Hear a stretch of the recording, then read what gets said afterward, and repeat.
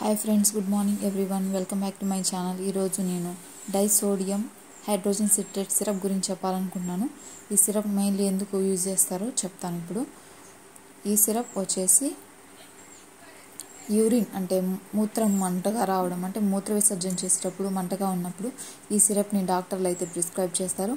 అలాగే కిడ్నీలో రాళ్ళు ఉన్న వాళ్ళకి కూడా ఈ సిరప్ని ప్రిస్క్రైబ్ చేస్తారు. ఈ సిరప్ని ఎలా కలుపుకోవాలో ఇప్పుడు తెలుసుకుందాము.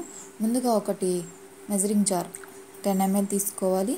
అంటే పది ఎంఎల్ తీసుకొని ఒక హాఫ్ గ్లాస్ వాటర్ తీసుకొని ఆ వాటర్లో ఈ సిరప్ని తీసుకొని బాగా కలిపి తాగాలి. ఇలా తీసుకోవడం వల్ల కిడ్నీలో స్టోన్స్ కరిగే ఛాన్సెస్ అయితే ఉన్నాయి. అలాగే మూత్రంలో మన్ మూత్ర విసర్జన చేసేటప్పుడు మంటగా ఉన్న వాళ్ళకి ఈ డైసోడియం హైడ్రోజన్ సిట్రేటెడ్ సిరప్ అనేది బాగా ఉపయోగపడుతుంది.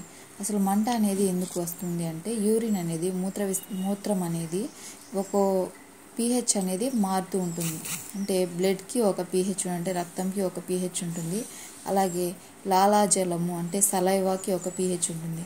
ఇలా డిఫరెంట్ డిఫరెంట్ ఫ్లూయిడ్స్కి ఒక్కొక్క పీహెచ్ అనేది ఉంటుంది. యూరిన్కి ఒక పీ పీహెచ్ అనేది ఉంటుంది. ఆ పీహెచ్ ఎసిడిక్గా మారిపోయి ఉంటుంది. అంటే సెవెన్ కన్నా తక్కువ ఉంటుంది. దాన్ని న్యూట్రలైజ్ చేస్తుంది. ఆల్కలీగా మారుస్తుంది. అప్పుడు యూరిన్ అనేది పీహెచ్ని చేంజ్ చేసుకుంటుంది.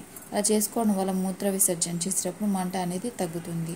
Okay thanks friends. Thanks for watching ఈ వీడియో. మీకు నచ్చినట్లయితే లైక్ చేయండి షేర్ చేయండి. ఇలాంటి మరిన్ని వీడియోల కోసం నా ఛానల్ని సబ్స్క్రైబ్ చేసుకోండి.